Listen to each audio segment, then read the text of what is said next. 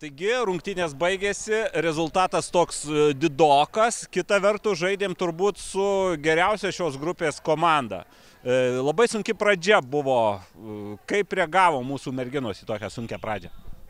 Na, visų pirma, tai tikrai buvo sunku įsivažiuoti, pradėjo lyti, danga iš karto ar ne keičiasi, sunkiau žaidėjams buvo prisitaikyti prie, to, prie tos dangos, kamuolys labai slydo, todėl galbūt ir pirmas įvartis toks greitas buvo. Tai, tai tokia ir pradžia mūsų buvo.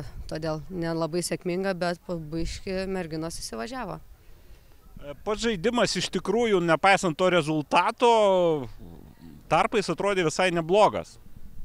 Na taip mes žinojom su kuo žaidžiam žinojom kad žaisim su grupės lyderėm ir merginos jau iš karto nusiteikė labai rimtai kovai ir matėm kad ir buvo ir perdavimų ban buvo bandymų išeiti į atakas tai bet žinoma airės atletiškos greitos tai truputėlį pritrūko mums Airijos rinktinė, būtent apie jų atletiškumą, greitį, apskritai apie futbolo supratimą. Turbūt buvo stipriausias oponentas iš tų, su kuriais teko susitikti jūsų komandai.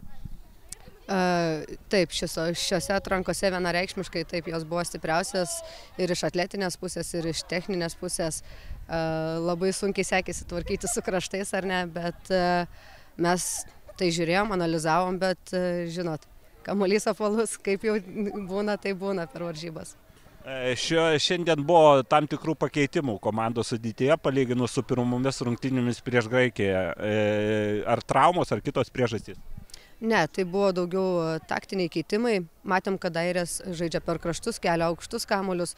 Todėl galbūt ir keitėsi ir gynėjų linijoj žaidėjos kad e, turėtume daugiau aukštų žaidėjų kurios galėtų kovoti antrame aukšte.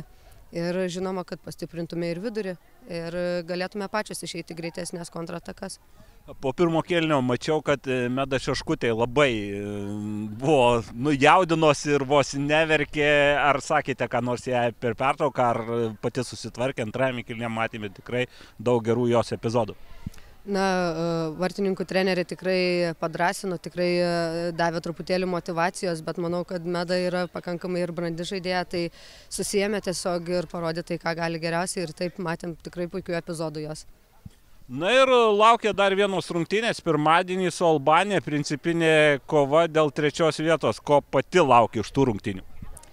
Žinoma, norėtųsi taškų, ar ne, kaip ir mes visi laukiame, bet na, bus matyti, mes atiduosim visas jėgas, o, o kokia bus rungtynių baigtis, bus matyti.